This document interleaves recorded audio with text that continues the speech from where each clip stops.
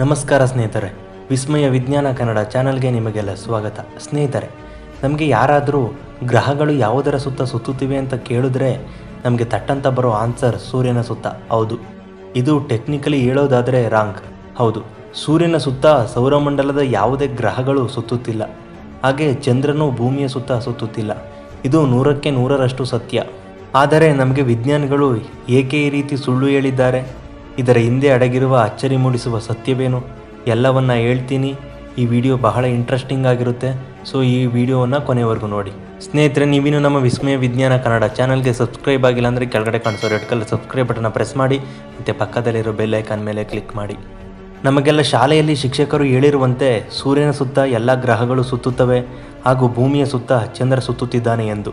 ಮತ್ತು ಫೋಟೋಗಳಲ್ಲಿ ವಿಡಿಯೋಗಳಲ್ಲಿ ಹಾಗೂ ಕೆಲವು ಪುಸ್ತಕಗಳಲ್ಲಿ ನಾವು ಈ ರೀತಿ ತಿಳಿದಿರುವುದೆಲ್ಲ ಟೆಕ್ನಿಕಲಿ ರಾಂಗ್ ಹೌದು.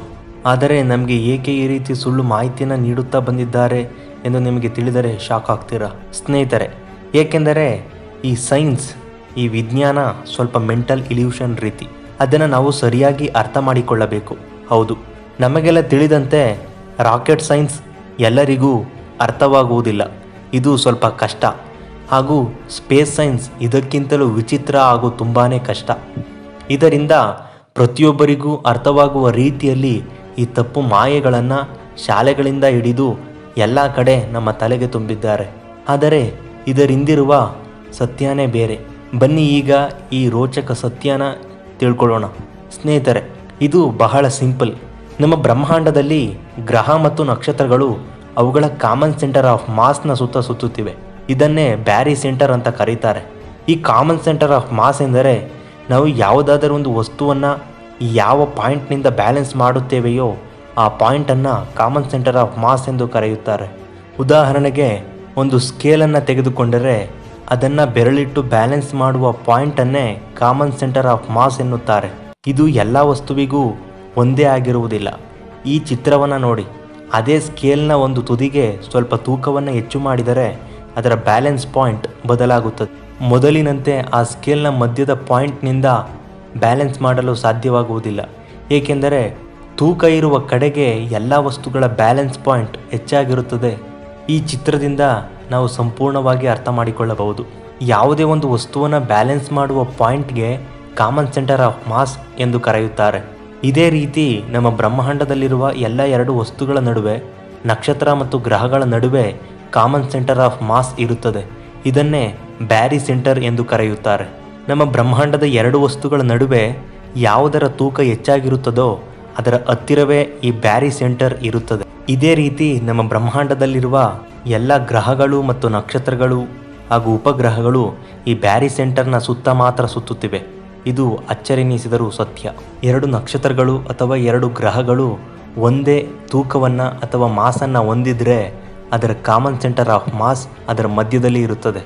ಆ ಎರಡು ವಸ್ತುಗಳು ಸಹ ಅದರ ಮಧ್ಯದ ಕಾಮನ್ ಸೆಂಟರ್ ಆಫ್ ಮಾಸ್ ಎಂದರೆ ಬ್ಯಾರಿ ಸೆಂಟರ್ನ ಸುತ್ತ ಮಾತ್ರ ಸುತ್ತುತ್ತವೆ.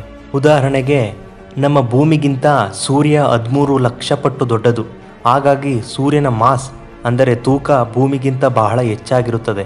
ಅದರಿಂದ ಸೂರ್ಯನ ಮತ್ತು ಭೂಮಿಯ ನಡುವಿನ ಕಾಮನ್ ಸೆಂಟರ್ ಆಫ್ ಮಾಸ್ ಅಂದರೆ ಈ ಬ್ಯಾರಿ ಸೆಂಟರ್ ಸೂರ್ಯನ ಸಮೀಪ, ಅಂದರೆ ಸೂರ್ಯನ ಕೋರ್ನಿಂದ ಐನೂರು ಕಿಲೋಮೀಟರ್ ದೂರದಲ್ಲಿರುತ್ತದೆ. ಈ ಬ್ಯಾರಿ ಸೆಂಟರ್ನ ಸುತ್ತ ಮಾತ್ರ ನಮ್ಮ ಭೂಮಿ ಸುತ್ತುತ್ತದೆ. ಅದನ್ನು ಬಿಟ್ಟರೆ ನಮ್ಮ ಭೂಮಿ ಸೂರ್ಯನ ಸುತ್ತ ಸುತ್ತುತ್ತಿಲ್ಲ. ಇದು ಅಚ್ಚರಿನಿಸಿದರೂ ಸತ್ಯ. ಹಾಗೆ ಸೂರ್ಯನು ಕೂಡ ಈ ಬ್ಯಾರಿ ಸೆಂಟರ್ನ ಸುತ್ತ ಮಾತ್ರ ಸುತ್ತುತ್ತಿದ್ದಾನೆ. ಹೌದು, ಇದೇ ರೀತಿ ನಮ್ಮ ಭೂಮಿ ಮತ್ತು ಚಂದ್ರನ ಬ್ಯಾರಿ ಸೆಂಟರ್ ಭೂಮಿಯ ಕೋರ್ನಿಂದ ನಾಲ್ಕು ಸಾವಿರದ ಆರುನೂರ ಎಪ್ಪತ್ತ್ಮೂರು ಕಿಲೋಮೀಟರ್ ದೂರದಲ್ಲಿದ್ದು ಅದರ ನಡುವೆ ಮಾತ್ರ ಚಂದ್ರ ಹಾಗೂ ಭೂಮಿ ಸುತ್ತುತ್ತಿವೆ. ಅದನ್ನು ಬಿಟ್ಟರೆ ಚಂದ್ರ ಭೂಮಿಯ ಸುತ್ತ ಸುತ್ತುತ್ತಿಲ್ಲ. ಆದರೆ ಇದು ನೋಡೋಕೆ ಭೂಮಿಯ ಸುತ್ತ ಚಂದ್ರ ಸುತ್ತೋ ರೀತಿ ಕಾಣುತ್ತೆ. ಅದರಿಂದ ನಮ್ಮ ವಿಜ್ಞಾನಿಗಳು ಸಿಂಪಲ್ ಆಗಿ ಈ ರೀತಿ ಹೇಳಿದ್ದಾರೆ. ಆದರೆ ಇದು ಟೆಕ್ನಿಕಲಿ ರಾಂಗ್. ಹೌದು ಸ್ನೇಹಿತರೆ, ಸೋಲಾರ್ ಸಿಸ್ಟಮ್ನ ತೊಂಬತ್ತೊಂಬತ್ತು ಪಾಯಿಂಟ್ ಒಂಬತ್ತು ಮಾಸ್, ಅಂದರೆ ತೂಕವನ್ನು ನಮ್ಮ ಸೂರ್ಯನೇ ಹೊಂದಿರುವುದರಿಂದ ಸೂರ್ಯ ಮತ್ತು ಎಲ್ಲ ಗ್ರಹಗಳ ನಡುವಿನ ಬ್ಯಾರಿ ಸೆಂಟರ್ ಸೂರ್ಯನ ಸಮೀಪ, ಅಂದರೆ ಅದರ ಒಳಗಡೆ ಬರುತ್ತದೆ. ಇದರಿಂದಾಗಿ ಸೌರಮಂಡಲದ ಎಲ್ಲ ಗ್ರಹಗಳು ಸೂರ್ಯನನ್ನೇ ಸುತ್ತುತ್ತಿರುವ ಹಾಗೆ ಕಾಣುತ್ತೆ ಅಷ್ಟೇ. ಆದರೆ ಇದು ನಿಜವಾಗಿ ಹೇಳಬೇಕು ಅಂದರೆ ಒಂದು ತಪ್ಪು ಕಲ್ಪನೆ ಮಾತ್ರ. ಈ ಬ್ಯಾರಿ ಸೆಂಟರ್ ಸಮಯಕ್ಕೆ ಅನುಗುಣವಾಗಿ, ಅಂದರೆ ವರ್ಷಕ್ಕೆ ಸೂರ್ಯನ ಒಳಗೆ ಹಾಗೂ ಹೊರಗೆ ಬರುತ್ತದೆ. ಇದರಿಂದ ಸೂರ್ಯನೂ ಸೇರಿದಂತೆ ಎಲ್ಲ ಗ್ರಹಗಳು, ಉಪಗ್ರಹಗಳು ಹಾಗೂ ಅವುಗಳ ಬ್ಯಾರಿ ಸೆಂಟರ್ನ ಸುತ್ತ ಮಾತ್ರ ಸುತ್ತುತ್ತಿವೆ. ಇದೇ ಸತ್ಯ ಮತ್ತು ಇದೇ ಅಂತಿಮ. ಇವನ್ನೆಲ್ಲ ನೋಡಿದ ಮೇಲೆ ಒಂದು ಗಾದೆ ನೆನಪಿಗೆ ಬರುತ್ತೆ.